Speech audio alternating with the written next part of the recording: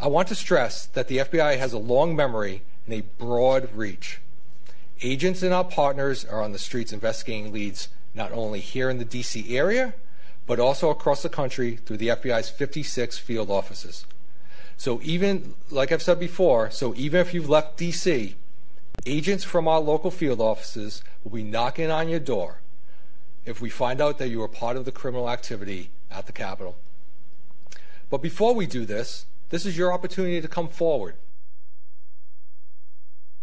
one of the real evil people. Most people don't even know his name, but I know Darren Beattie knows his name. He's one of the best, if not the best, journalists in the country right now. Joining me now, Darren Beattie with Revolver News.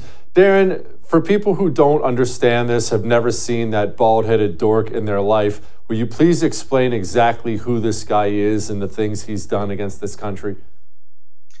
Well, Mr. D'Antuono is an interesting figure. He has a decorated resume replete with intimate involvement in several uh, dirty tricks and really scandalous operations against Trump and his supporters and the American people generally.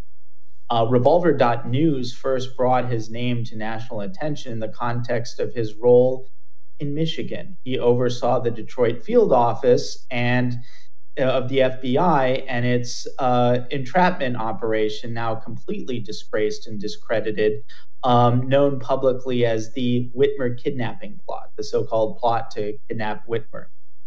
And after overseeing this entrapment operation, Mr. D'Antuono, of all the people in the nation through the various field offices that Christopher Wray, the FBI director, could have handpicked for the coveted position running the Washington field office, D'Antuono is picked by Christopher Wray to lead that Washington field office in the months leading up to and the months after January 6.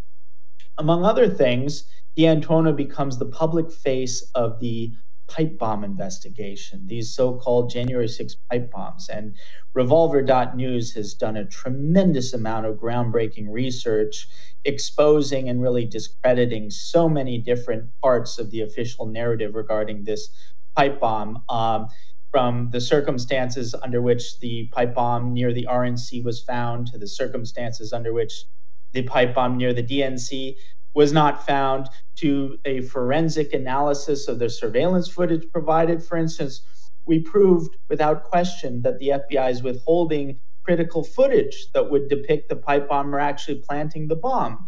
We proved definitively that the surveillance footage provided by the FBI had been artificially tampered with, such as to reduce the frame rate to a level that it's impossible to identify who this person is. So, from every angle, we've exposed this pipe bomb hoax that I call one of the two smoking guns of the January 6th Fedsurrection.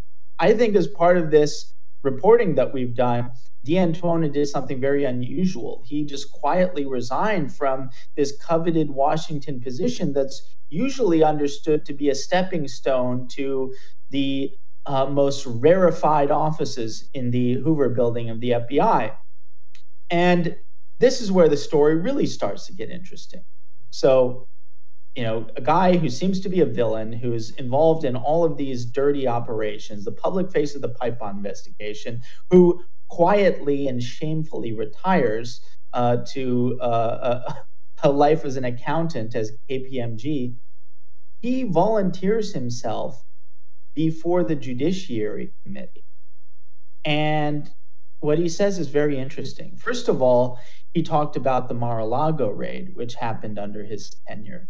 Mar a Lago raid, as people probably know, is the raid that serves as the basis for the latest illegitimate rounds of indictment against President Trump. Now, what he said about this was very curious. He came out and basically said, more or less words, the Mar-a-Lago raid was illegitimate, and the FBI contravened normal protocol in many different instances in a way that he found totally objectionable. And he outlined those instances. And that was very interesting. This is unusual. For an FBI guy to do that is one thing, but for this guy of all people, but then it gets even more surprising from my point of view he actually answers questions about the pipe bomb investigation, very uncomfortable questions that have emerged as a result of Revolver.News' reporting. Congressman Massey asked him a number of questions. Keep in mind, he doesn't work for the FBI anymore, and he had every opportunity to say, Oh, I can't comment on an ongoing investigation. You know the obfuscations that these guys have available. If they don't want to answer a question, they won't. But he did, and I was frankly shocked by it. Now, to get the full story, people should go to revolver.news and read it, but I want to give some of the bombshells from this interrogation. One of them in particular. Massey asked him, We know that the FBI has been using geofencing technologies in order to identify January 6 participants and arrest and charge them. Did you use geofencing capabilities in order to try, at least, to identify this pipe bomber? Because it's actually a layup for that kind of technology because you need a person's location and a time that they were there. The more crowded it is, the more confounding variables there are. But according to the surveillance footage, we have a specific person at a specific place, specific time, and no one else around him. It should be the easiest thing in the world to get the geofencing. And at this point, when questioned, D'Antuono gets a little bit clammy. Body language starts to shift a little bit. He can't make eye contact. And he says, You know, we did try geofencing for the pipe bomber. But the telecom company in question came back to us and said, for this specific time and place, for this specific request, our data is corrupted. Now, what are the chances of that?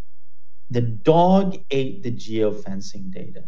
The same dog that ate the Epstein tapes, the same dog that ate the tapes of John Doe number two in the sham investigation of the Oklahoma City bombing, there's a very hungry dog for a very particular type of surveillance footage. And this dog is a government employee, I suspect.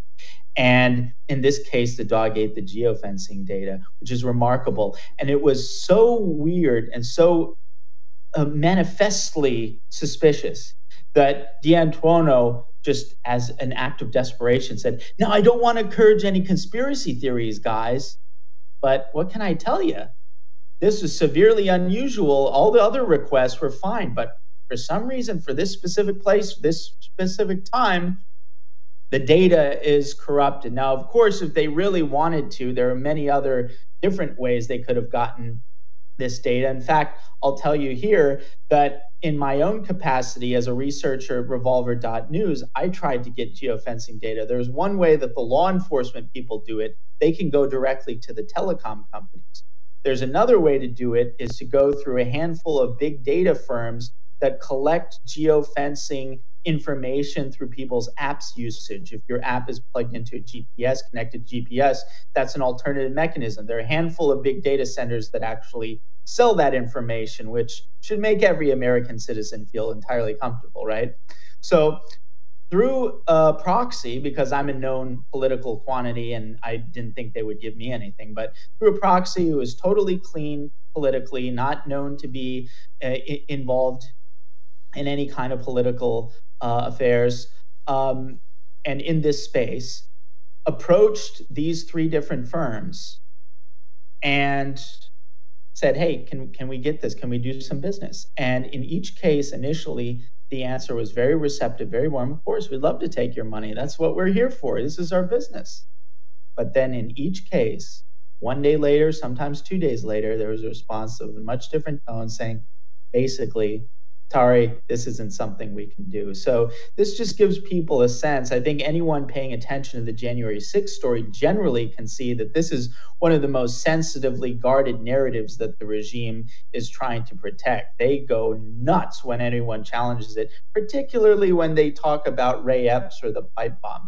And in this case, the fact that some agency went to the lengths of corrupting or deleting or doing something to the geofencing data in order to prevent public knowledge about who this person is um, really, I think, says something amazing. And there were many other pretty astonishing revelations that emerged from the interrogation of D'Antuono in the context of this pipe bomb investigation. You want to watch our special on George Washington? It's freaking awesome. Well, you can. All you have to do is become a First TV supporter. That gives you access to all of our specials on demand, and it's cake. All you have to go to is thefirsttv.com slash support. Thefirsttv.com slash support. Become a supporter. Enjoy learning about George Washington.